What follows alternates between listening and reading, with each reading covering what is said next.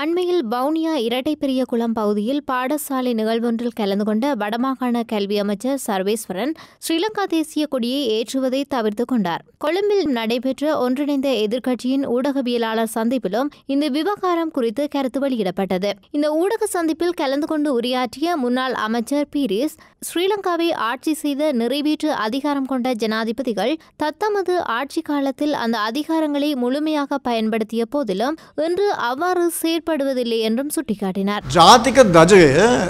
தேசிய கொடியை மாற்றியமைக்க வேண்டும் என்றால் பொதுமக்கள் கருத்து கணிப்பு நடத்தப்பட வேண்டும். மாறாக அதனை மூன்றிலிருந்து பெரும்பான்மையை கொண்டோ அல்லது சபையில் தலைகளின் எண்ணிக்கையை மாற்றியமைத்தோ மாற்றிவிட இயலாது. இதனை செய்யும் வரை தற்போது பயன்படுத்தப்படும் தேசிய கொடிக்கு மதிப்பளிக்க வேண்டும். இப்படிப்பட்ட சம்பவம் வேறு நாட்டில் இடம்பெற்ற இடம்பெற்றிருந்தால் இந்நேரம் வடமாகாண கல்வி அமைச்சர் பதவியிலிருந்து ஜனாதிபதியினால் தூக்கி எறியப்பட்டிருப்பார்.